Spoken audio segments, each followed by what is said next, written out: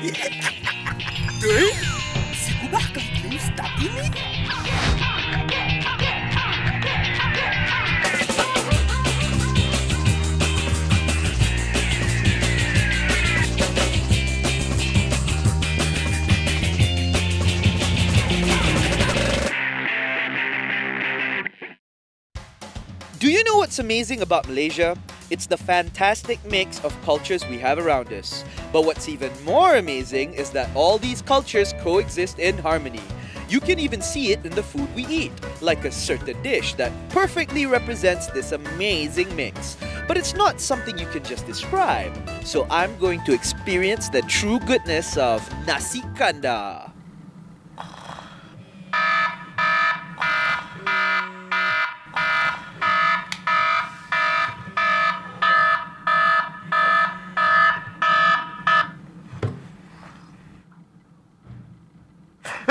I'm late. I'm late for my nasi kandar. Penangites are heavyweight eaters. It's proven by the fact that almost half the population has nasi kandar for breakfast.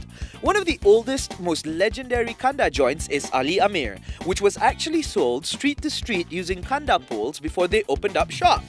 And one man has been part of the whole evolution. We went back before World War II. Last time kedai kurang. Indian Muslim they like to cook. So mereka suka berniaga. So last time in Penang as I know the main pot untuk berniaga nasi ini eh dekat uh, Penang Port. Okay. Mereka nak masak kat situ tak boleh. So they have to masak one place. So nak bawa pergi ke sana nak bawa pakai apa? So, the, so that pole came The pole. about. They create. Dia bawa- pakai pole tu bawa kandak pergi. From that they get the name nasi kandak. So actually, it's more like home delivery system lah. Actually, it's a home delivery system. It's been done before pre-war. Exactly. by us, by, by us, by us. It's actually done already. It's almost time to face my heavy duty breakfast. But before that, I get to prepare myself with some light kandar pole training.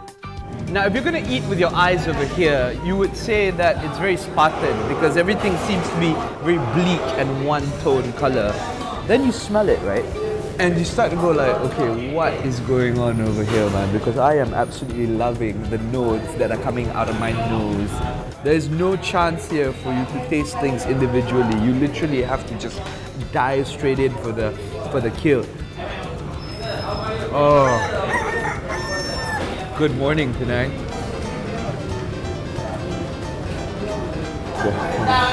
It's so good. I mean, it's light. It doesn't hit you like that. It's more like it spreads out on you, and I think that's just gorgeous. Now, mind you, I've been blessed with everything on my plate. Yeah? I've been given some, right, beef rendang. I'm gonna spread this out. It's not about having the the single taste of one thing. It is about the mix. But I'm just surprised how a mixture of stuff can still taste so relaxed. This actually is so good. Try some of that daging. That's some tender stuff right there. Finally, the chicken. Now, they are very generous with the portions here. Look at that. The, uh, the sauce is a bit different, huh? Very different. You mix it all up with this, which is what you do lah. Oh yeah, well cooked, white meat. Because the kandar is a bit more spicy. Feeling it down the throat now. Can I get some rice with the side of my curry? Fine liquids, you know. The fact that it is a tradition, and I love the fact that you can still see people here every day whacking this right smack in the morning like it's second nature. That is the tradition that we should not lose. This is our national heritage. And nothing says best in the world better than the burst of flavors that hits you and makes you go, ah, now it's time to go back to sleep. Hmm.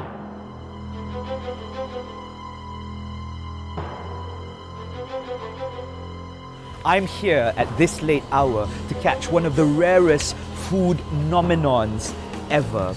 Now, like the Halley's Comet, the Midsummer Night Sun, and the lunar eclipse, this thing only happens between the magic hours of 11 pm till 1 am in the morning, and I am almost at the spot where I can catch a glimpse of it. And there it is. So, here's a guide to catch this wonder. You've got to join the queue and wait for the blue light to turn on. Then, if you're lucky, you get to reach the front and pick anything on offer. When the blue light is off, you'll either miss it or you'll end the night with a full, satisfied tummy. So let's get the satisfaction going on. First things first, lah. I don't know where to begin. You know what I mean? Um, let's go for the rice then. Oh, I love it. Look, okay, the texture of this rice, right, is so fluffy and compact. It's um, it's like when they packed it in, there was no air left. Um, it's got a very strong taste of nasi tomato, though it doesn't look it. It looks very um. Oh man, it's lightly colored, but you know the flavors in there. You, you, you, you can taste the tomato, but not an overpowering sense. It's sort of like a base. Let's mix it all up, man. It's got to be in the way they cook it.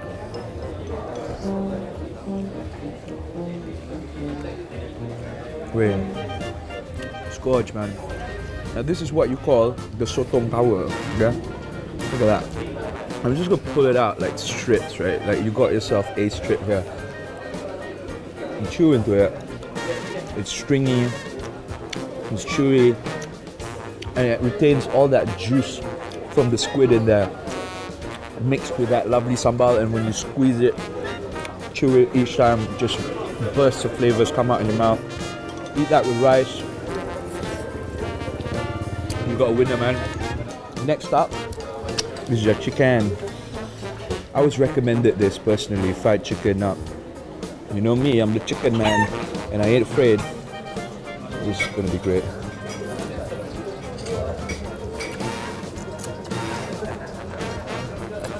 Um, power, bro. Power. The you can either make it or you can break it, and these guys know how to make it. I bet it's why they're one of their best sellers. Everybody here seems to be going for the ayam goreng. Ayam goreng, bro. Ayam goreng. Dude, this combo of the uh, the sambal, the ayam masak kicap, and the ayam masak merah is so good. For a few hours at night, this whole area suddenly comes alive like it's lunch hour. And it truly is a phenomenon because every single thing here is extraordinary. You know, to me, it's like um, such magic that it's like a musical symphony. The guys in there are orchestrating like a a beautiful piece of music for you to just enjoy. And man, every night the tickets are sold out. This is one concert you do not want to miss. Best in the world, man. Serious best. I feel blessed to be able to experience this sensation, and I feel it has brought me even closer to food. In fact, I'd like to explore a certain delicious prophecy. It's so sempoi. There's nothing special to it. This is the first time I actually feel that we've put ourselves in actual danger to uncover something for best in the world.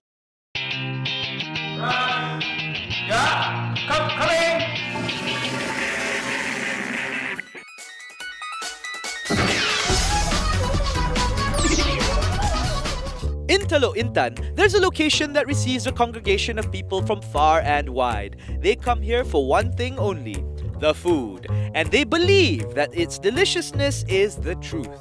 So I've come to test my faith in the nasi kanda of M. Gulam Rasul. This looks brilliante. Eh? It's so sempoi. There's nothing special to it. It's just rice, kuah, a lot of meat. They've got a very special type of sambal. It's sweet, it's sour. I bet it goes great with everything here. We've got kambing. Oh, look at that. It's smoking, man. The aromas on that is phenomenal. We've got some ayam masak merah. Not smoking, but luscious. And finally, we got the ayam goreng, which is a must. But before that, as all true nasi kanda spirits go, you have to dig in straight to the rice. Oh, it's fantastic, man. It's blowing my mind. Before we move on, I must try this ayam goreng because, you know, this is the way forward, right? This ayam goreng that I'm eating has been tasted far and wide in the land of Malaysia. Mm, still hot, very nice and luscious in the middle. And when you mix it with the nasi, ini betul-betul nasi kandar.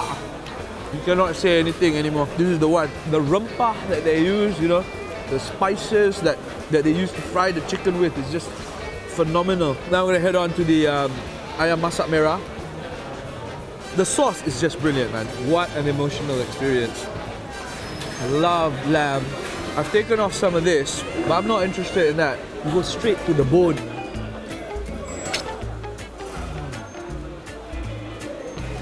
No mistake, this is the one. MGR's food has lived up to the expectation. The texture of the kambing, man, it's soft, it's hot, it's, it's just absolutely delicious. I've spoken a lot with my friends from all over the world, and one thing they don't understand about Malaysian food is how can you mix all that? How can you decipher this taste, you know? And I'm like, guys, I know what you mean. I too like to take things as it is, but this entire country was built on a mix of different flavors. And if we don't eat that mix every single day, then what are we? I mean, we are what we eat, right? There you have it. The treasure is uncovered. These guys here started selling under a tree, and for it to become so huge and have so much variety, you know it has to be best in the world.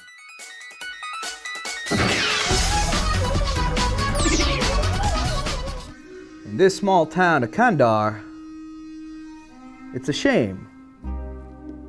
I heard that there's another sheriff in this town. Well, I think I'd like y'all to know that there's only space for one sheriff in this town. And that's me. I'm gonna have to eat you alive.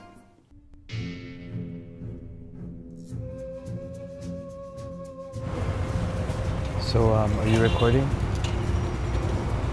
Okay. We came here to uh, chew out the other sheriff, but um, I came here and I had a second look, and I'm actually quite scared of the sheriff right now. Well, a bunch of people have, have tried to talk him out of it, but uh, I don't think he really wants to have the uh, place covered. So we decided to do this as guerrilla and discreetly as possible. The TV also one. Uh, yes, I am. Shh, don't tell anybody. My, my son is a favorite of you. Oh, thanks. Oh, that's really nice. Thanks. Steven. There, Razif. Tell your Oh, son I said hello. That was a fantastic moment. Okay, back to my mission. Gotta steel myself and confront this sheriff. Keep calm, Raz. Relax. He's glaring at the camera, not at you. Okay, got it. Let's get out of here. Let's go, let's go, let's go. This is the first time I actually feel that we've put ourselves in actual danger to uncover something for best in the world, okay? I don't think I'll ever be able to buy this ever again. So I'm just gonna eat this one time with you guys and uh, enjoy it for what it is. It's getting a little too heated in this town, so I head off into the sunset to find a safe, faraway place where I can enjoy my bounty. Finally, man. I didn't realize that this entire thing would be like a huge drama, you know, like a feat. Oh. Oh. Before I begin, I'm gonna say to the crew, I'm sorry that you guys are not gonna get this because um, there's only one packet and I'm gonna tell you what it's like. So, makan eh? Makan? Okay, it's not as banjir as most nasi kandar we had. See, there's still remnants of rice there. We're gonna whack it all together, get your hands all dirty and stuff. Oh, the gravy is so thick; it's able to like retain like really nice sticky flavors to the rice.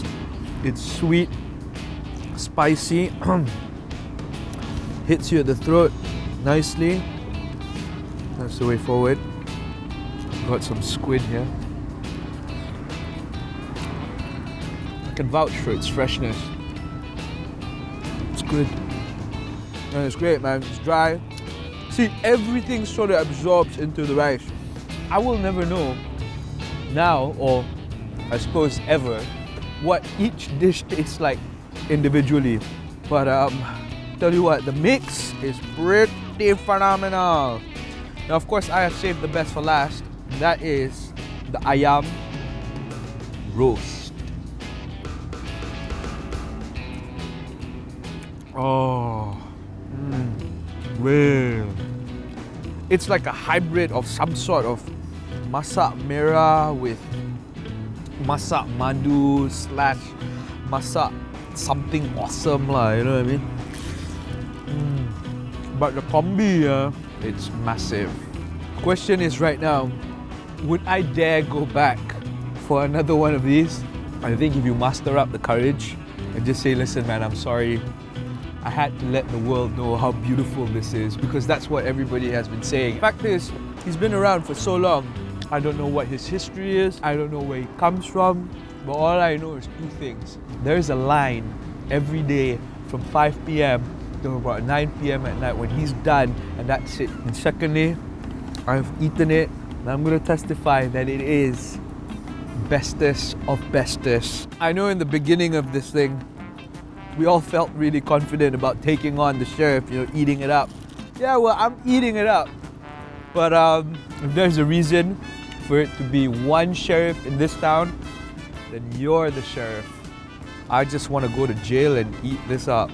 Everything I put myself through was worth it. That was pure gold.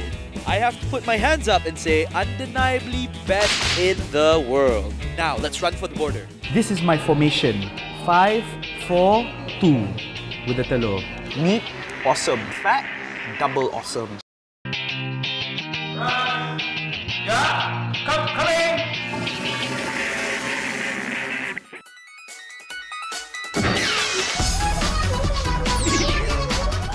As you can see, I'm sitting down in the middle of a padang. Now, if I was a cow or a herbivore, this would present itself to be some wonderful leafy goodness. But for some people, like the Kelantanese, they like their padang in a slightly different way. Restaurant Hoover came about when a man from Indonesia sailed across the sea and made his home in Kelantan. Here, he introduced the nasi padang concept, which gained so much popularity amongst the locals, it has now become a staple. This padang, for example. As you can see, this is the hidang style. That means all your players turun padang. This is my formation. Five, four, two with the telur. And now, it's time to eat. So, striker passes the ball over to my first striker. Oh, man, good stuff. It's not exactly hari curry. Very interesting flavor. I think it's slightly different from nasi padang as well. Like it's so light, I can, can probably finish it in one sitting. It's very pleasant as well. It's like, mm, you know what I mean? And the fact is, they use um ayam kampung, which is you know very lean meat and not much fat on that. Fantastic. Okay, let's go for another very famous thing over here. Apparently, everybody goes for it, and that's the daging rendang. Oh. Okay, it's sweet. It's Kelantan sweet. But I'll tell you what, 90% of rendangs I've eaten in my life, their gravy is quite, um, you know, thick. I mean, of course, you look at it and it's kind of thick on the top, right? But that's just the top layer. When you reach the bottom, it's all just water with coloring. But it's not coloring, it's the color of the taste. The fact that you can still achieve a very strong taste with it and get everything absorbed into the meat that you're taking, whether it's chicken, it's fish, whatever, man. Mm. All right, next up, deep fried solo ikan. Look at that. This is shaved coconut, like you know whatever shavings you get inside an old coconut, and then they mix it with uh, ikan kembung. Oh my god. If you know solo, you know solo. Okay? This solo is awesome. It's sweet, coconutty, good savory taste. A very natural one. Finally, the moment we have been waiting for. Look at that. A giant prawn. I'm gonna let it drip for a while onto my plate. Give it a bit of a back stretch. you know. We're gonna eat now. Uh, uh, crunches, crunches. He's doing more than I should. The prawn is all peeled. Now, the moment of truth.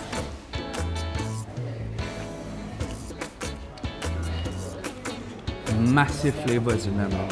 What's amazing about this is that even though it came from Sumatra, everything here has a very distinct Kelantanese taste. It's become a gorgeous mix of the two cultures.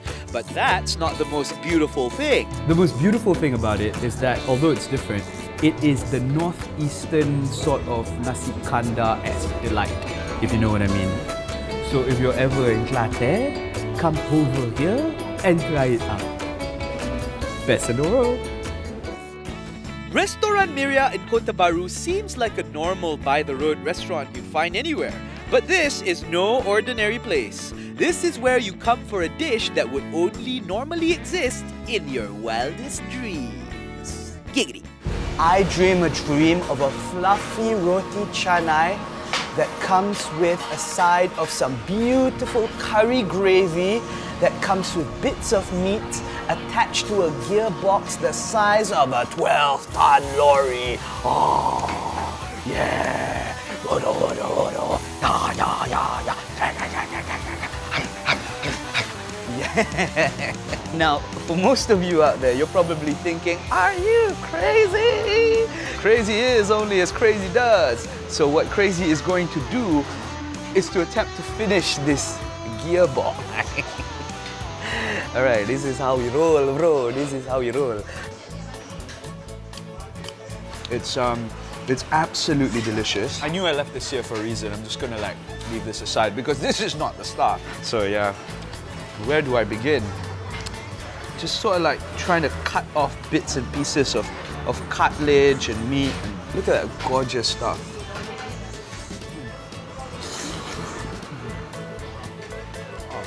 Meat, awesome.